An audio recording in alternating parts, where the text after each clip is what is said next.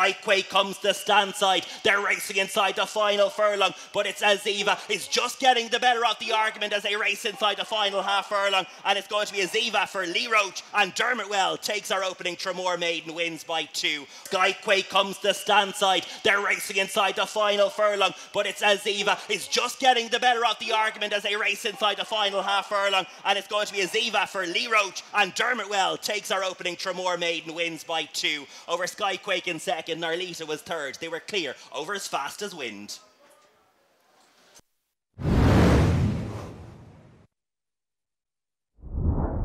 But Noturno with the red sleeves on the stand side. In the centres, Elsa's Bride. Brighton Future tries to stay on, but it's Noturno for Jake Coen is going clear inside the closing stages. And these first time cheek pieces have done their job. Noel Meade wins is more handicap with Noturno, but Noturno with the red sleeves on the stand side. In the centres, Elsa's Bride. Brighton Future tries to stay on, but it's Noturno for Jake Coen is going clear inside the closing stages. And these first time cheek pieces have done their job. Noel Meade wins the Lismore handicap with the Noturno Brighton Shine Elsa's Pride in front of real history.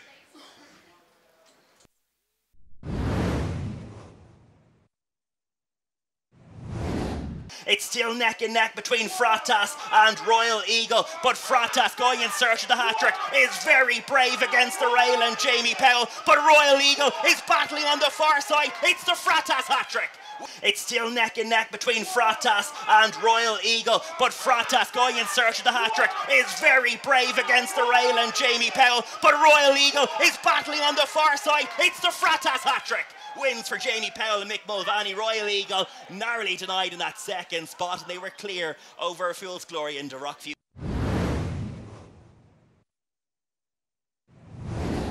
But it is beautiful chaos. Races on the outside of out on Friday in the stripes. These two neck and neck as they race inside the final 100. It's out on Friday with beautiful chaos and out on Friday. And Sean Bowen may just have got the better of beautiful chaos. But it is beautiful chaos. Races on the outside of out on Friday in the stripes. These two neck and neck as they race inside the final 100. It's out on Friday with beautiful chaos and out on Friday. And Sean Bowen may just have got the better of beautiful chaos. Influential Lady came through for a third in front of Galileo's Compass.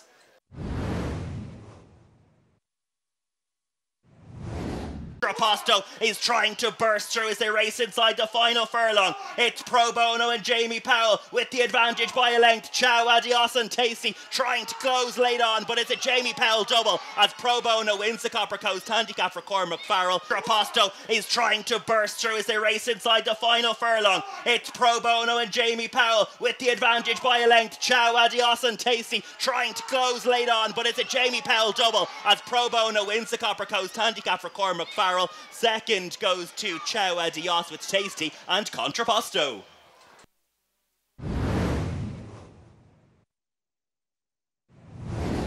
Stoke the fire, trying to renew the challenge though, but with a length and a half to find. Buckhill is in third, but this one's going to be all about Uxmal, twice finished second, including at Gowran last week. JJ Slevin's sole ride in the card is going to be a winning one because Uxmal wins the West Waterford Maiden for Joseph O'Brien. Stoke the fire, trying to renew the challenge though, but with a length and a half to find. Buckhill is in third, but this one's going to be all about Uxmal, twice finished second, including at Gowran last week. JJ Slevin's sole ride in the card is going to be a winning one because Uxmal wins the West Waterford Maiden for Joseph O'Brien. Stoke the Fire second in front of Buckhill and Rotten Row.